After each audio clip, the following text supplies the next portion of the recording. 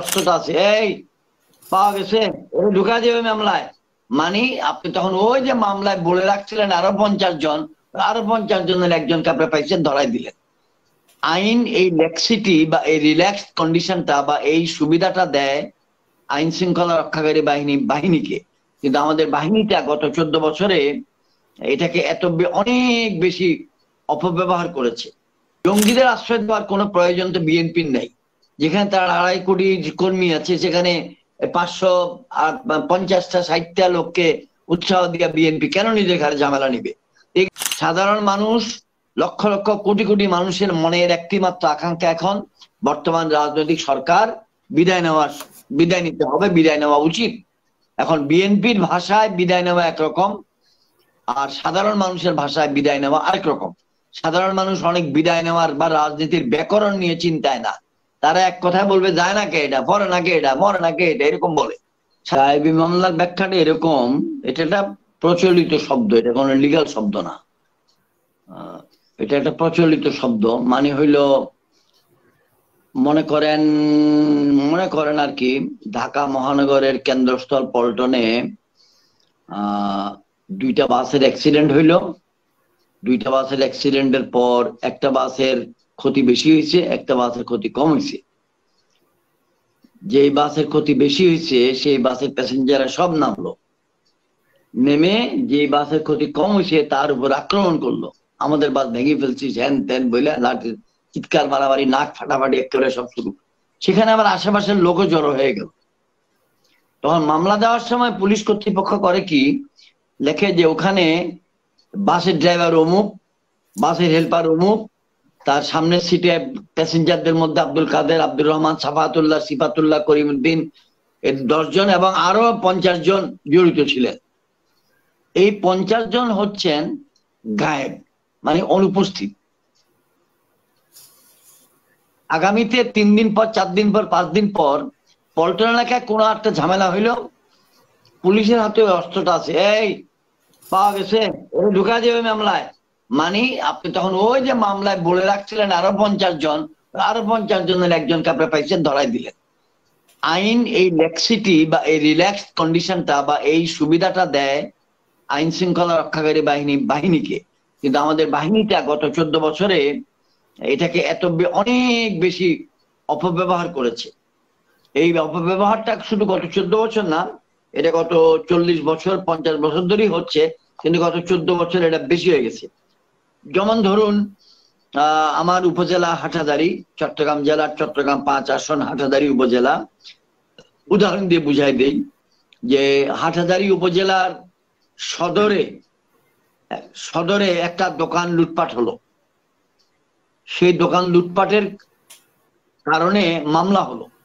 সেই মামলা পুলিশ কর্তৃপক্ষ লিখে দিল, তার দুই পাশের দুই দোকানের দশ জনকে দিয়ে দিল আসামি নাম ধরে, আর বলল আরও চল্লিশ জন এলাকার দুষ্কৃতিকারী যাহাদিগকে দেখিলেই আমরা চিনিব এবং শনাক্ত করিতে পারিব। এখন হাটাদারি সদরের আরও দুই মাইল দূরের একটা লোক যদি কোনোদিন ঝামেলা করে পুলিশের সঙ্গে, বাস বলবে ঢুকাই দেয় ওই যে ভ্যাকেন্সি রাখে সেই ভ্যাকেন্সির মধ্যে ঢুকাই দিল। অর্থাৎ এটাকে বলা হচ্ছে গাইবে মামলা। মানুষ রয়েছে দুবাইতে মামলা হচ্ছে ঢাকাতে, চট্টগ্রামে হাটাদারিতে সাতকানিয়ায় রংপুরে, উলিপুরে কাজীপুরে অথচ মানুষ ডুবাইতে। মামলা হচ্ছে কুমিল্লায়, মানুষ খুলনায়। মামলা হচ্ছে যশোরে, মানুষ কলকাতায়। মামলা হচ্ছে ঢাকায়, মানুষ হাসপাতালে শুয়ে আছে যশোরের জেনারেল হাসপাতালে। এই ধরনের ঘটনাগুলো বাংলাদেশে প্রচুর হচ্ছে আর কি। এই জন্য এটাকে বলা হচ্ছে গায়েবী মামলা। অর্থাৎ রাজনৈতিক ব্যক্তিদেরকে হয়রানি করার জন্য যে কোনো আরেকটি মামলা রুজু করার সময় এফআইআর নেওয়ার সময়। এখানে লিখে দেওয়া হয়, অমুক অমুক অমুক, অমুককে বিরুদ্ধে এবং আরও পঞ্চাশ জন, সত্তর জন, তিনশো জন, একশো জন, পাঁচ হাজার সাতশো জন জড়িত যাহাদিগকে দেখিলেই পুলিশ কর্তৃপক্ষ শনাক্ত করিতে পারিবে। এটার নাম গাইবী মামলা। এইটা অনেক বড় একটা অস্ত্র, কিন্তু সাংঘাতিক ভাবে অপব্যবহার হচ্ছে। এটা আওয়ামী লীগের পক্ষ থেকে চোদ্দটি বছর বলা হচ্ছে।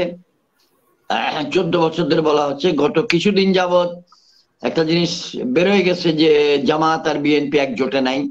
চার পাঁচ দিন আগে বিএনপি মহাসচিব মহোদয় গণ অধিকার গণ অধিকার পরিষদের সঙ্গে মিটিং এর পর মিডিয়ার প্রশ্নের উত্তরে বলেছেন যে বিএনপি বিশ দলীয় জোট আর নাই। তো বিশ দলীয় জোট নাই মানে বিএনপির সঙ্গে জামাত ইসলামী যাকে জোটবদ্ধ একটি দল ছিল সেটি নাই। তো তা না হলে শব্দটা সবসময় হতো BNP Jamaat BNP Jamaat BNP Jamaat. এবং চোদ্দ বছর ধরে এই জিকিরটা করা হচ্ছে যে বিএনপি জঙ্গিদের আশ্রয় দেয়, বিএনপি জঙ্গিদের মদত দেয়। এটা একটা রাজনৈতিক স্লোগান, এটা একটা রাজনৈতিক অপবাদ। সরকারের নেতৃস্থানীয় ব্যক্তিবর্গকে এই সমস্ত কথা বলতে গেলে কোনো কৈফিয়ত দিতে হয় না, কারও কাছে জবাবদিহিতা নাই, এটার জন্য ভ্যাট, ট্যাক্স কিছুই দিতে হয় না। সুতরাং এটা বলতে কোনো দোষ নাই। বিএনপির উপরে যত প্রকারের অভিযোগ, হিন্দি ভাষায় বলে এলজাম দেওয়া যায়, তত দিতে থাকবে। তা আসলে বিএনপি কি উগ্রপন্থী বা জঙ্গিদেরকে আশ্রয় দেয়? দেয় না। দিলে আওয়ামী লীগের পরিবার থেকেও দিচ্ছে। কারণ আওয়ামী লীগের বিএনপি একই প্রকারের রাজনৈতিক দল, উদার রাজনৈতিক দল, গণতান্ত্রিক রাজনৈতিক দল, জনভি, ব্যাপক জনভিত্তির রাজনৈতিক দল, দুটো দলই। সুতরাং জঙ্গিদের আশ্রয় দেওয়ার কোনো প্রয়োজন তো বিএনপির নেই। যেখানে তার আড়াই কোটি কর্মী আছে, সেখানে পাঁচশো পঞ্চাশটা, ষাটটা লোককে উৎসাহ দিয়া বিএনপি কেন নিজের ঘরে ঝামেলা নিবে? এগুলা হচ্ছে একটা বোগাস কথা। এই কথাগুলো নেতৃস্থানীয় দায়িত্বশীল ব্যক্তিরা না বললেই ভালো। প্রতীকী অর্থে প্রতীকী অর্থে এখন থেকে ছ মাস বা পাঁচ মাস বা চার মাস আগেও বিএনপির সমাবেশে মানুষগুলো বিএনপির কর্মীরাই হতো। কিন্তু গত দেড় থেকে দু মাসের মধ্যে যত প্রকারের সমাবেশ হচ্ছে এতে বিএনপির কর্মী ছাড়াও জনগণের একটা অংশ অংশীদার হচ্ছে, তারা কষ্ট করে আসতেছে। কারণটা হচ্ছে, বর্তমান রাজনৈতিক সরকারের প্রতি একটা বিক্ষোভ সাধারণ মানুষের মনে জন্ম নিয়েছে। বর্তমান রাজনৈতিক সরকারের প্রতি একটা বিতৃষ্ণা সাধারণ মানুষের প্রতি জন্ম নিয়েছে। এর কারণ, বর্তমান রাজনৈতিক সরকার আমাদের জীবন ধারণ করা একটা দুর্বিষহ, কঠিন কাজ হয়ে গেছে। খাদ্যদ্রব্যের দাম দুর্বিষহ। মাস্তানি সমাজে, মাস্তানি বাজারে, মাস্তানি দোকানে, অর্থাৎ ছেলে মেয়েদের নিরাপত্তা, সম্মানের নিরাপত্তা কিছুই নাই। আর দুর্নীতির কারণে পুরা বাংলাদেশ এখন ছয় লাভ এখন সাধারণ মানুষ তো অনেক কিছু না বুঝলেও অন্তত বেঁচে থাকার অধিকারটা তো বোঝে। তো তিনি বেঁচে থাকতে চান। চাউলের দাম বলেন, আটার দাম বলেন, সবজির দাম বলেন, চিনির দাম বলেন, ভোজ্য তেলের দাম বলেন, ঔষধের দাম বলেন, বিদ্যুতের দাম বলেন একটা বাপ যদি ঘরে থাকে, তারও যদি দাম বিদ্যুতের চার তিন গুণ বাড়িয়ে দেন, দুই গুণ বাড়িয়ে দেন, তাহলে একটা লোক কোথেকে দিবে? তার ইনকামটা তার বাড়ে নাই।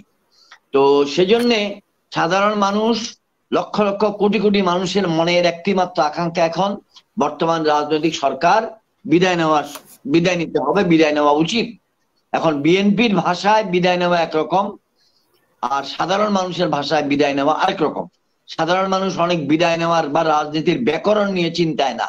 তারা এক কথায় বলবে, যায় না কে এটা পরে না কে এটা, মরে না কে এটা, এরকম বলে। সাধারণ মানুষরা। কিন্তু প্রকাশ্যে বলতে পারে না, কারণ বললেই কে কারে বাইন্ডে নিয়ে যাবে ডিজিটাল আইনে মামলা দিয়ে দিবে। তো সেই জন্যে মানুষ মিটিং গুলাতে আসে অন্তত মনের সন্তুষ্টির জন্য। যে একটা জায়গায়, কোনো না কোনো জায়গায় একটা আবেদন হচ্ছে, আন্দোলন হচ্ছে, একটা দাবি হচ্ছে, আমিও সেখানে যাই।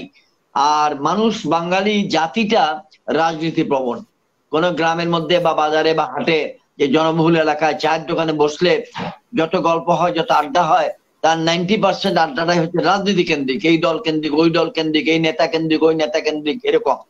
তো এখন বাংলাদেশে মানুষের মুখে মুখে মুখে মুখে মুখে মুখে চিন্তায়, চেতনায়, স্বপ্নে সব জায়গায় একটাই কথা যে আমাদের এই পরিস্থিতি থেকে উদ্ধার পাওয়া প্রয়োজন, তারা আওয়ামী লীগের উপরে বিতৃষ্ণ। আপনার কথা বা জানা ফজলুর রহমান সাহেবের কথা একটা জায়গায় আমিও আংশিকভাবে বলব যত লোক সমাবেশে আসছে, সবাই বিএনপির কর্মী না। বাট সভায় আসার জন্য তো বিএনপির কর্মী হওয়া ফরজ না। বাধ্যতামূলক না। আংশিক ভাবে বাধ্যতামূলক না। এনিওয়ান ক্যান কাম তাহলে এত লোক যখন হচ্ছে, এবং নদী সাঁতরাই আসতেছে, নৌকায় করে আসতেছে, হাইটে আসতেছে, সাইকেলে করে আসতেছে, মোটরসাইকেলে করে আসতেছে, ট্রাকে করে আসতেছে, গরু থেকে আসতেছে চল্লিশ মাইল পর্যন্ত হাইটে হাইটে মানুষ আসতেছে পঞ্চাশ মাইল হাইটে হাইটে মানুষ আসতেছে দুই, তিনবার করে জায়গা বদলায় বদলায়, যানবাহন বদলায় বদলায় আসতেছে। এখানে তো এটাকে হেলা ফেলা করার কোন জায়গা নাই। এটা মানুষের অনুভূতির, কঠোর অনুভূতির, কঠোর আকাঙ্ক্ষার একটা বই প্রকাশ, যে আমরা সরকারের পরিবর্তন চাই। তারা আসছে বলে তাদের তাদের উপস্থিতিতেই সভাগুলো সগরম, সভা থেকে যে বক্তব্যটা দেওয়া হচ্ছে, সেগুলো প্রেরণামূলক বক্তব্য হচ্ছে, উদ্দীপনামূলক বক্তব্য হচ্ছে। তো আমি আপনাকে এই বলে এখানে ক্ষান্ত করতে চাই এবং আপনার নিকট আবেদন রাখব যে আগামী দুই চার পাঁচ মিনিট পরে আপনি আমাদেরকে ছুটি দেবেন আর কি, আশা করি।